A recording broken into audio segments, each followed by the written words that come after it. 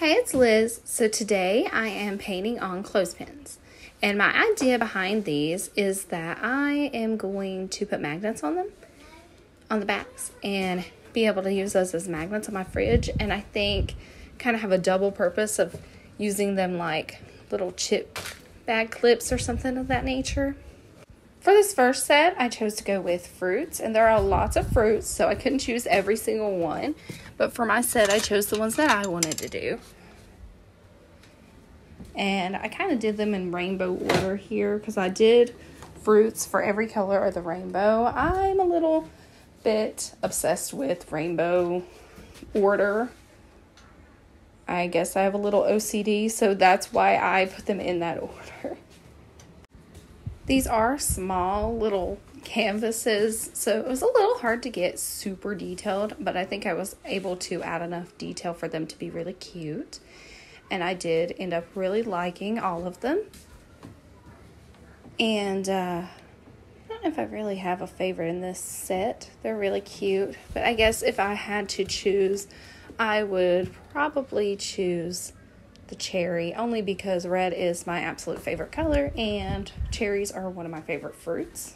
This was really fun to do. I really do like patterns and prints and I thought that would be the perfect thing to do on these. At this point, I've made it to green in the video. As you can see, I did lime, but then I also wanted to do kiwi, which is one of the fruits you don't always see on everything. And I thought it would turn out really cute. And I really did end up liking the kiwi one as well. For blue, I did go with blueberries. Nothing too crazy. I just thought a blueberry one would be cute. For grape, I I mean for purple I did go with grape, but I wanted to add a couple of green grapes on there cuz I just thought it would be really cute. So it's still technically the purple theme, but there's a little bit of green in there. And I wanted to do dragon fruit because you don't always see dragon fruit, and I think dragon fruit's really pretty. So that is what I chose for pink. And here is the complete set. I really love how they turned out, and I can't wait to turn them into magnets. Put them on my fridge. I think they'll be really, really cute. The second set, I went in and did rainbow butterflies. Again, I'm going in with rainbow, but I love rainbow, so yeah, that'll probably be something you see a lot of on my channel. I either do really bright rainbow things or I do things on the darker side. I like both. These I did start out with the basic shape and then went in and add the lines and dots and all the little details to make it look like a butterfly's body. I think they turned out really cute, but they showed up better on the white background than they did the black background. And this is how this little set turned out. I think they're cute also.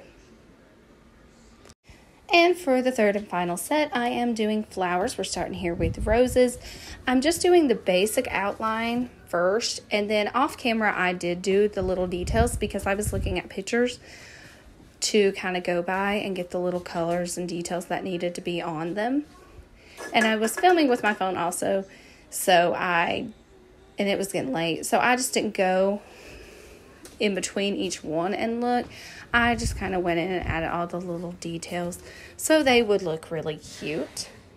And again, I went in rainbow order with this, at least for putting them in the video because I did kind of go back and forth and add little details as I went or that I noticed I was kind of missing. And I did little dots in between the flowers because I thought it was missing something in all the little blank spaces. Anyway, this is how they turned out, and I think they're really, really cute. I really do like them. And I, again, can't wait to put magnets on these and put them on my fridge. Think they'll make it nice and bright and pretty. And that's the end of the video.